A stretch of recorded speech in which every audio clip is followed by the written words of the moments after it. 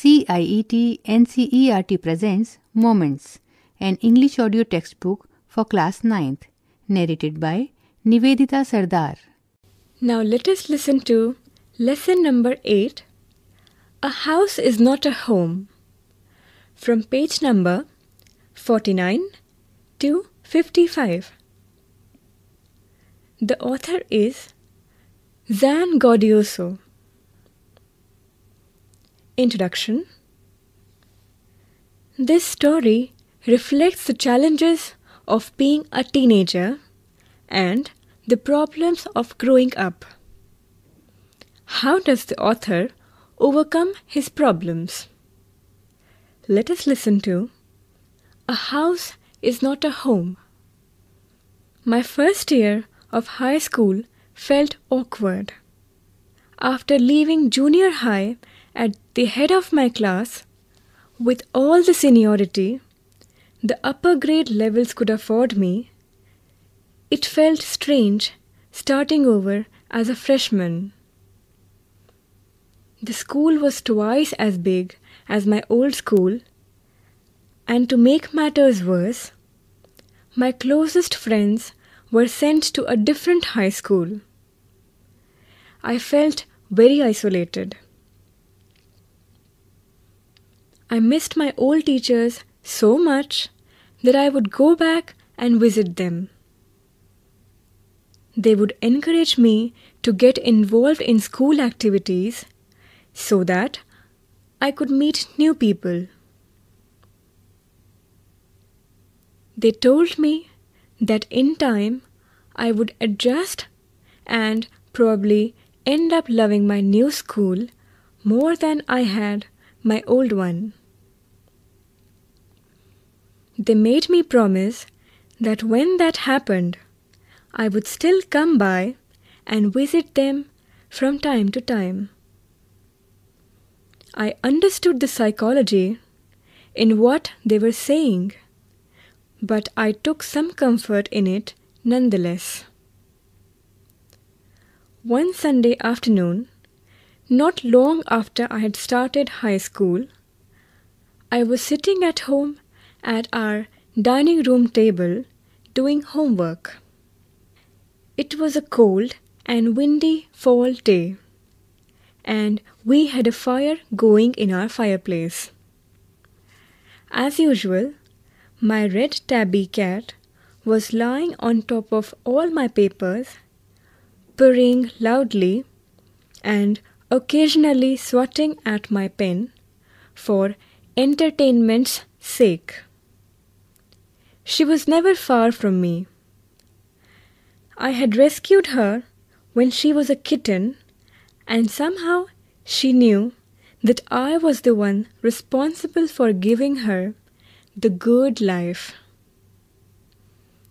My mother kept stoking the fire to keep the house nice and warm.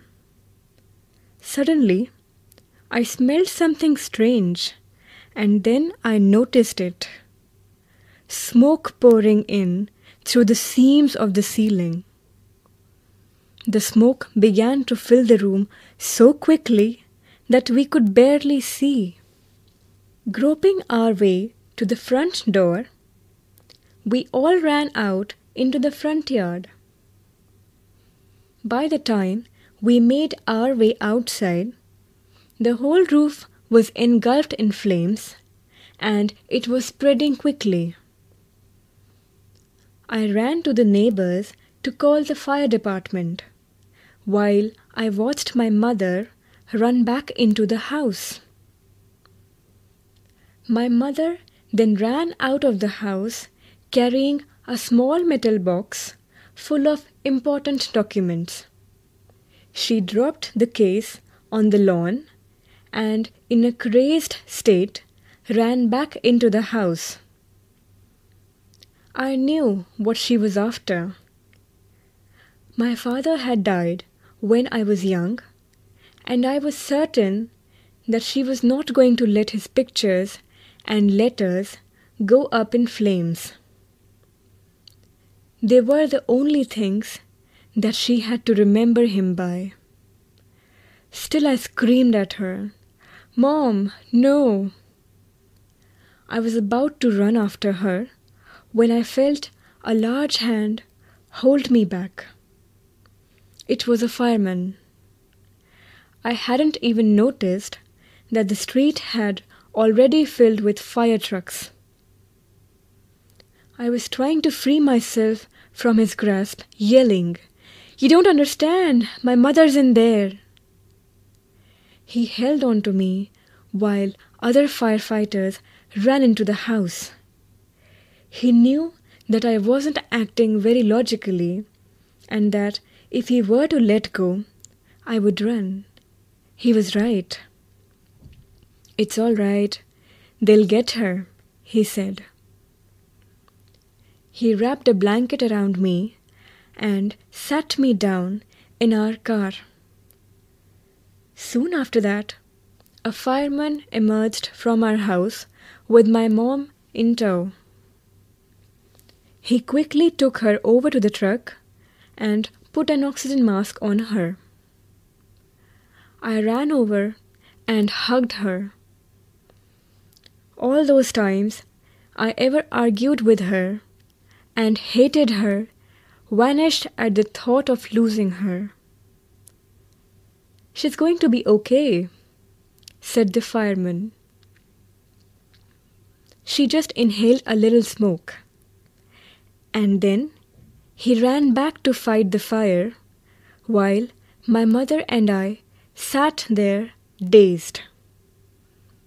I remember watching my house burn down and thinking that there was nothing I could do about it. Five hours later, the fire was finally out. My house was almost completely burned down. But then it struck me. I hadn't seen my cat. Where was my cat? Much to my horror, I realized that she was nowhere to be found. Then all at once it hit me. The new school, the fire, my cat. I broke down in tears and cried and cried. I was suffering loss, big time. The firemen wouldn't let us go back into the house that night. It was still too dangerous. Dead or alive, I couldn't imagine leaving without knowing about my cat. Regardless, I had to go.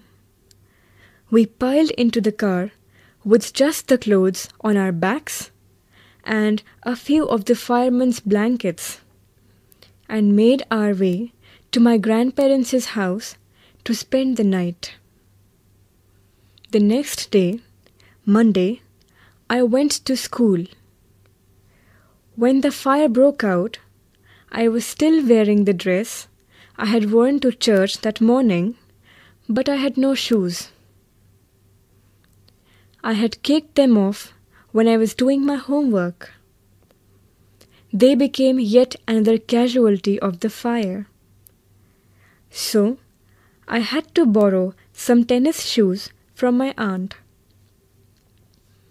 Why couldn't I just stay home from school? My mother wouldn't hear of it, but I was totally embarrassed by everything. The clothes I was wearing looked weird. I had no books or homework, and my backpack was gone. I had my life in that backpack. The more I tried to fit in, the worse it got. Was I destined to be an outcast and a geek all my life? That's what it felt like. I didn't want to grow up, change, or have to handle life if it was going to be this way. I just wanted to curl up and die. I walked around school like a zombie. Everything felt surreal, and I wasn't sure what was going to happen. All the security I had known from my old school, my friends, my house, and my cat had all been ripped away.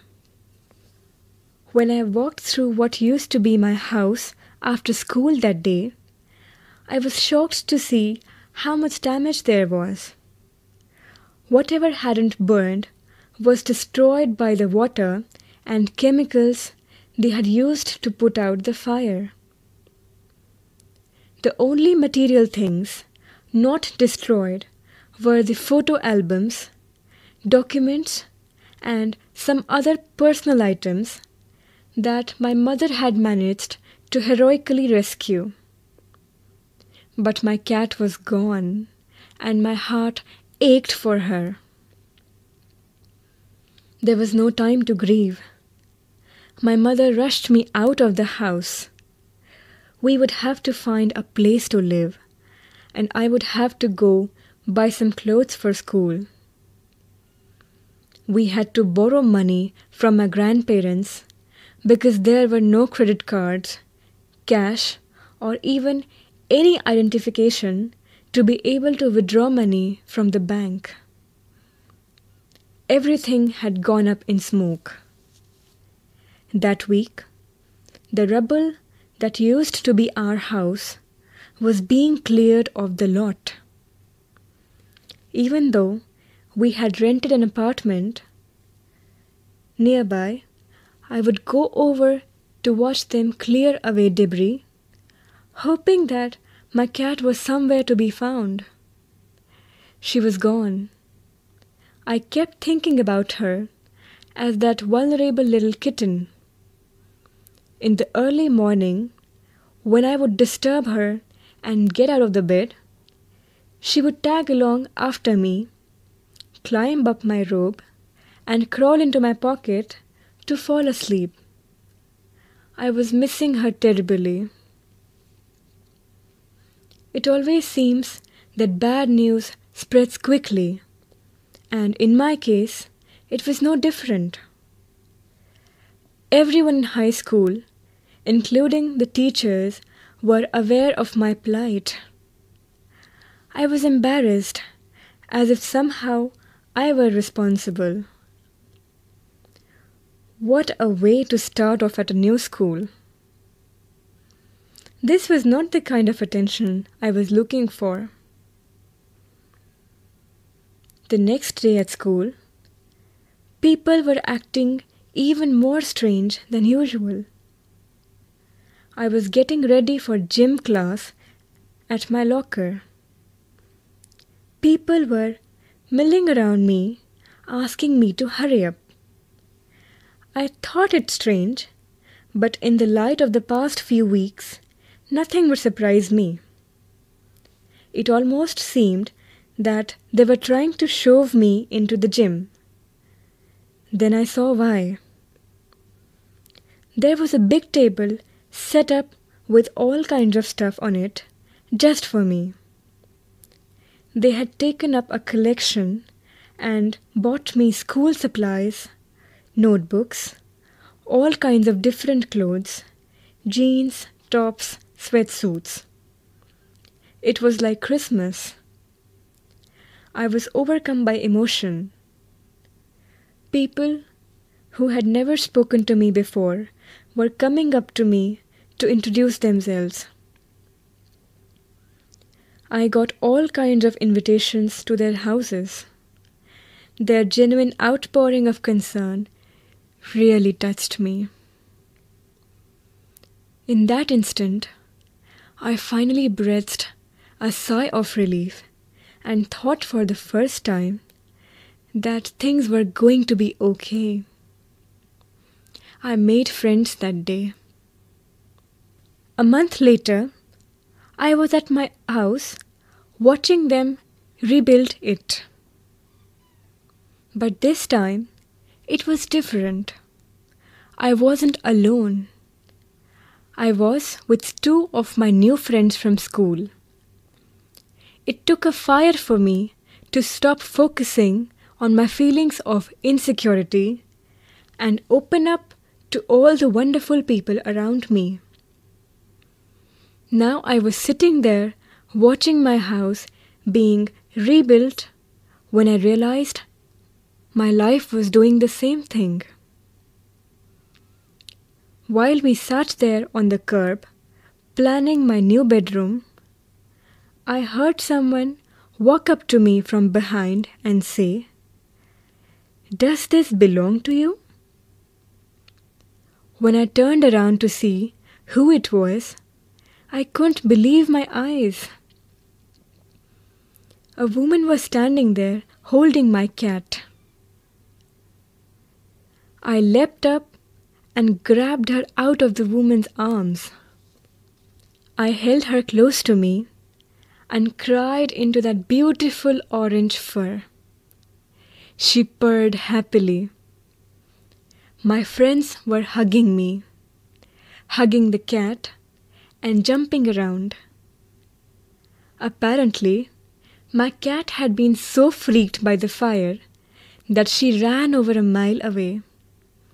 Her collar had our phone number on it, but our phones had been destroyed and disconnected. This wonderful woman took her in and worked hard to find out whose cat it was. Somehow, she knew this cat was loved and sorely missed. As I sat there with my friends, and my cat curled up in my lap, all the overwhelming feelings of loss and tragedy seemed to diminish. I felt gratitude for my life, my new friends, the kindness of a stranger, and the loud purr of my beloved cat. My cat was back, and so was I. Glossary Stoking the fire, feeding and tending the fire. Zombie, a dull and apathetic person. Surreal, strange, bizarre. Milling around, moving in an aimless manner. Shove, push hard. Think about it. 1. What does the author notice one Sunday afternoon? What is his mother's reaction? What does she do? 2. Why does he break down in tears after the fire? 3. Why is the author deeply embarrassed the next day in school? Which words show his fear and insecurity? 4. The cat and the author are very fond of each other. How has this been shown in the story? Where was the cat after the fire? Who brings it back and how? 5. What actions of the schoolmates changed the author's understanding of life and people and comfort him emotionally? How does his loneliness vanish and how does he start participating in life? 6. What is the meaning of My cat was back and so was I? Had the author gone anywhere? Why does he say that he is also back?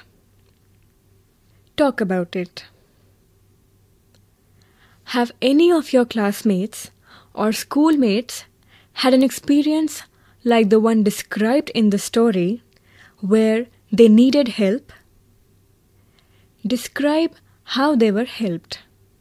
Suggested reading Herstory so far Tales of the Girl Child in India, edited by Monica Das.